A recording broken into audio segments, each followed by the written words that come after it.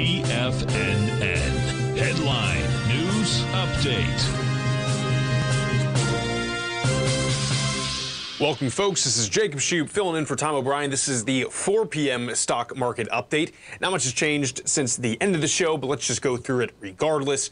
ES Mini off about 0.66%, the Russell off 1.85, NQ down 0.89%, and the Dow futures off nearly a full percentage point. Gold up 1.81, silver up 4.4%. Wow. Love seeing that for silver, guys.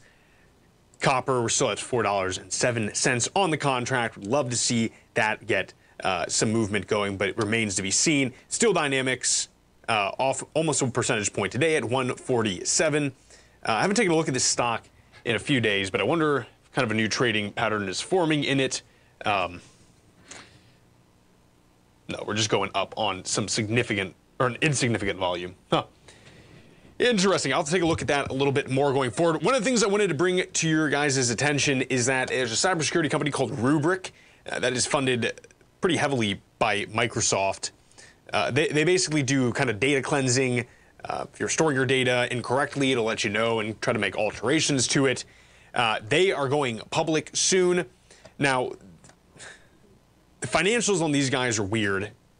Um, filed to go public is going to be RBRK.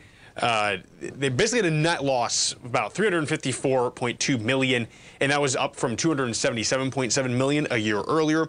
However, they have some major backers, um, and cloud management, of course, is going to be the future going forward. Kind of be, you know, wait to see what happens with that, I would say, but you're probably going to hear a lot about that. It's backed by Microsoft.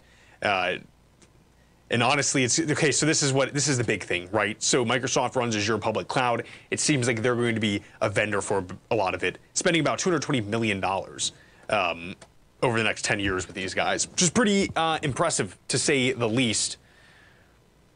Uh, we can take a look as well before we uh, kind of move on. I had a friend ask me about Boeing, and this is now the time buy Boeing since we've gone down so significantly. And my answer is uh, probably not, right? I mean, I think I think the CEO has done some weird stuff with the company. I, I, don't think pushing for hyper profitability on companies like this gets you anywhere good, right?